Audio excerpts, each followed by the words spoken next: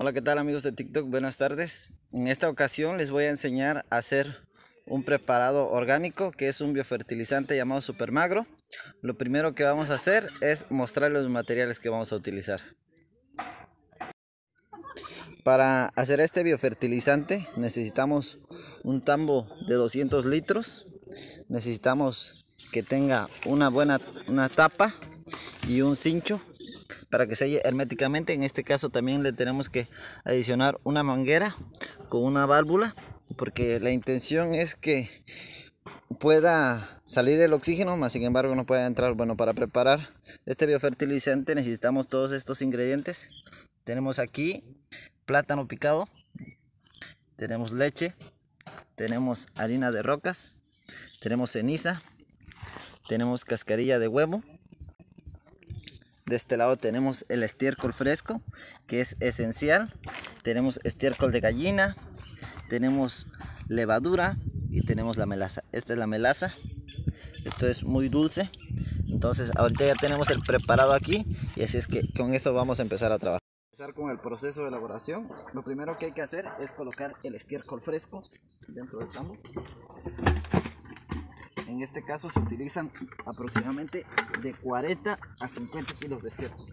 Tiene que ser muy fresquecito para que pueda tener toda la vida microbiana que es lo que estamos buscando. Posteriormente podemos agregar cualquiera de los materiales que decíamos. En este caso vamos a, a colocar la leche. Se recomiendan 2 litros, en este caso voy a colocar aproximadamente 3 litros de leche.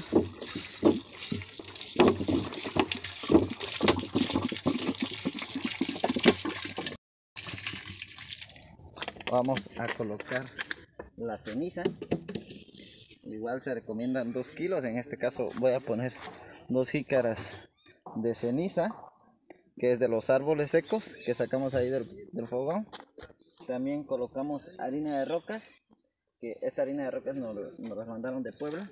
Es roca volcánica que este que pues es muy buena porque tiene muchos minerales. Ahorita igual vamos a colocar dos jícaras de este material. Es como tal un menjurje el que estamos haciendo. Vamos a colocar también lo que es estiércol de gallina gallinaza de la gallina de aquí del rancho. Esto nos va a aportar mucho nitrógeno por eso es que lo estamos colocando también dentro del fertilizante. Ponemos cáscara de huevo esta es la cáscara también vamos a colocar un poco porque este nos va a aportar el calcio que las plantas requieren. Aquí tenemos este plátano picado, que también vamos a colocar una parte. Y hoy voy a elaborar dos, entonces por eso es que ando midiendo los materiales. Y este es igual plátano picado, pero para que se aproveche mejor el potasio que vamos a extraer, lo puse a hervir y ya, ahorita lo voy a colocar.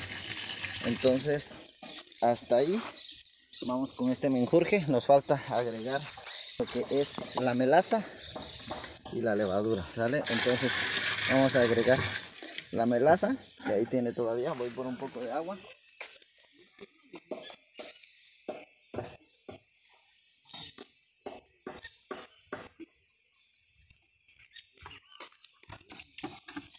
Vamos a agregar 250 de, de levadura es de la levadura de pan estos son microorganismos vivos entonces este que se activan con el agua y es lo que vamos a hacer en estos momentos. Una vez que ya incorporamos la melaza y la levadura lo que nos resta es mover muy bien todo para que se mezcle y poner el agua a que llegue a una distancia más o menos de 15-20 centímetros y posteriormente colocamos la tapa. Ahorita ya ya colocamos la tapa y le pusimos el cincho. Esto lo ayuda a que de ninguna manera entre el oxígeno. Le digo, la manguera hace esta función de liberar todos los gases y se concentran en esta botella. Eh, sin embargo, aquí al tener agua no va a dejar que entre ningún tipo de oxígeno. Y va a suceder esto, miren, vean lo que sucede. Empieza a sacar burbujas. Amigos, espero les haya servido de algo el hecho de que hayamos compartido con ustedes la el proceso de elaboración de biofertilizantes. Estos preparados vamos a tener que esperar un aproximado de 30 días, bueno, dependiendo de las condiciones climáticas. Y posteriormente ya lo vamos a poder utilizar en la, agricultura Eh, la verdad es muy rendidor. Eh, para utilizar este producto ya una vez que esté bien elaborado vamos a utilizar un litro de super magro en 20 litros de agua o podemos incluso utilizar 2 litros por 20 litros de agua. Entonces, todo eso yo lo voy a ir compartiendo con ustedes. Esperemos le sigan dando corazón a las publicaciones, que cada vez sean más seguidores y pues vamos a seguir con este proyecto. Saludos para todos y bendiciones.